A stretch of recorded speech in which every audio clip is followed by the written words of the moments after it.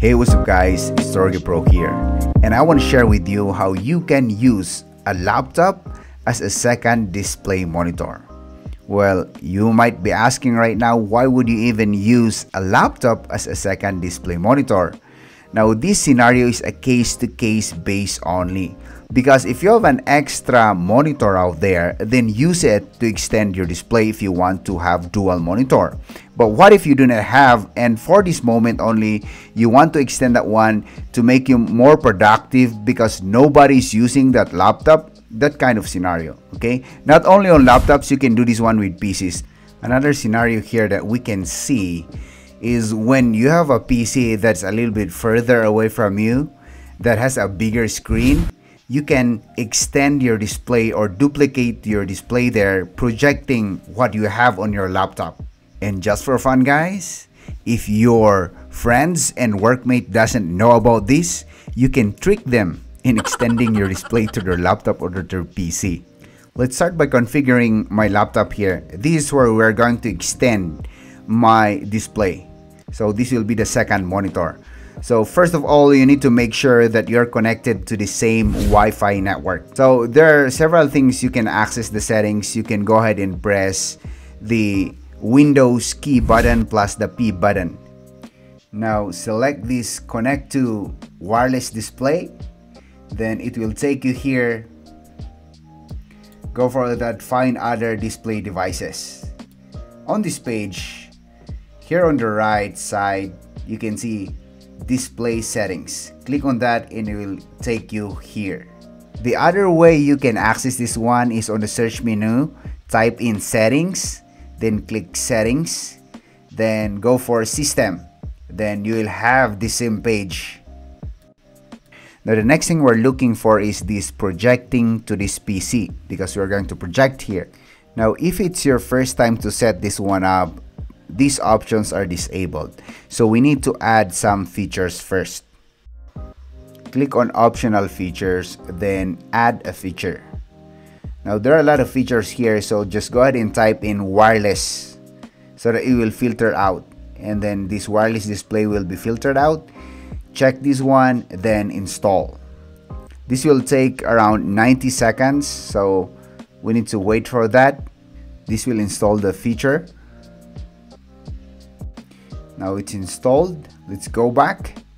Then these are the settings that you can work with. So it is a self-explanatory options here. I'll just click on available everywhere so that it's easier for us to do it. Well, it's up to you if you want to select the other one. Here below, it says every time a connection is requested. So that's what I'm going to choose. And if you want to have more security, you can set a pin but I'm not going to do that since I'm just the only one here. So this option here, it's up to you if you want to turn it off or turn it on because it simply says that if the charger is not plugged in, then no one's going to connect to the laptop because maybe it go it's going to run low battery, then the display will be cut off. So this will be our main laptop that's going to project the display to the first laptop that we just configured. So the same here like projecting to a projector, press the Windows button plus P.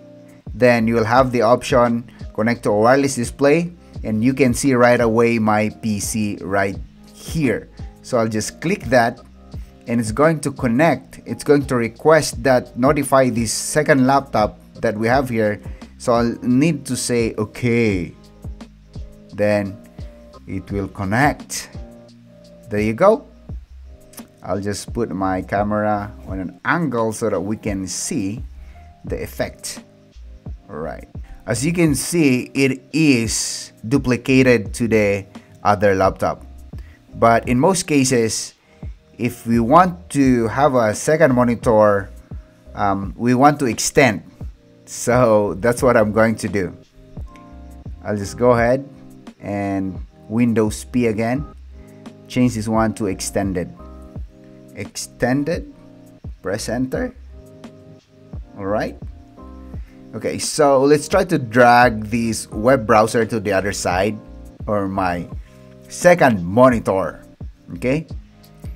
So I'll just click this one then drag it.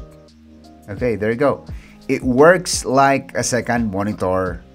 And as you can see there's a bit of a delay because we're a little bit further away from the Wi-Fi router so I'm uh, kind of in my room right now. Anyways this will be a very great help in some case scenarios. So I'll just disconnect. Then you can see that it's going to be disconnected. Then we're cut down. I hope this video has been informative for you guys. And if you like this video give it a thumbs up. Subscribe to my YouTube channel. Help me make a dream of a hundred thousand subscribers. See you in my next video